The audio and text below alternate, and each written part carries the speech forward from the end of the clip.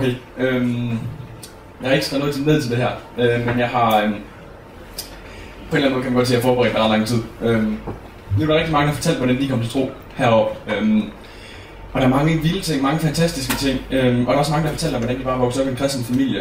Det er jeg. Øhm, jeg har haft en kristen mor og en far, der langsomt har ledt mig til Jesus. Øhm, jeg tror, jeg blev kristen øh, på efterskole i 10. klasse. Men jeg har ikke en dag, jeg har ikke en, en helbredelse, jeg har ikke en eller anden vildt fantastisk ting, øh, jeg kan sige, jeg kan fremlægge og sige, sådan vil jeg frelst.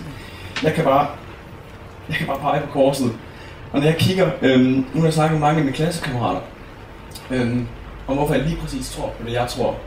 Øhm, og der er mange forskellige teorier om, hvorfor man er her i verden. Men jeg kan bare sige til dem, når jeg ser noget som en blomst, nu har vi, nu har vi haft biologi i skolen, hvordan, hvordan det hele virker.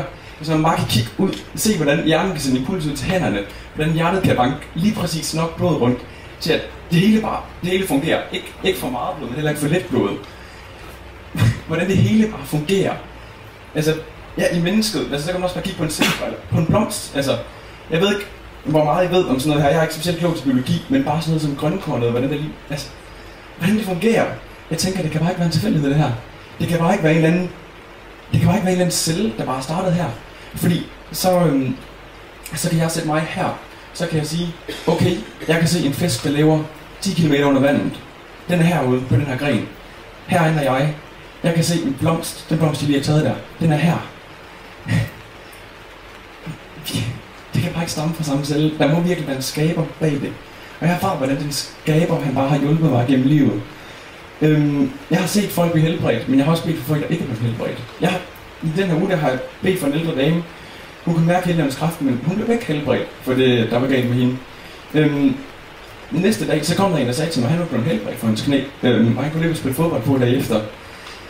Men det er ikke det. Øhm, jeg ved ikke, altså, om der er nogen af jer, der sidder og er frustreret over Gud ikke svarer.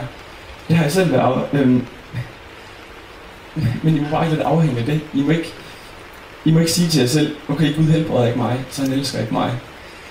Se på korset. Altså, så meget kærlighed har Gud til jer, til alle, der sidder her. Han siger til dig, for du er underfyldt skabt, dyrebar, og jeg elsker dig.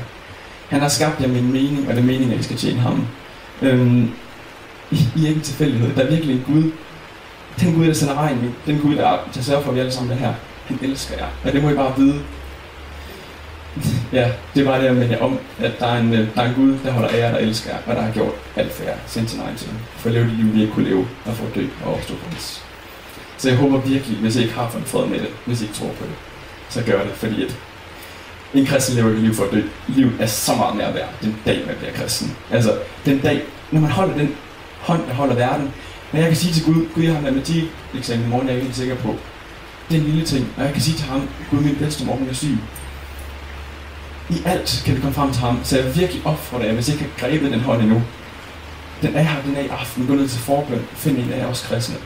Det, det er så meget, så meget værd at leve det liv med Jesus. Så jeg vil bare, jeg kan, jeg kan ikke anbefale det nok. Altså, ja, søg det. Det er så fedt.